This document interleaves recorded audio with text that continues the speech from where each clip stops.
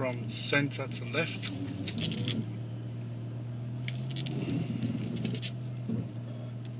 From centre to right.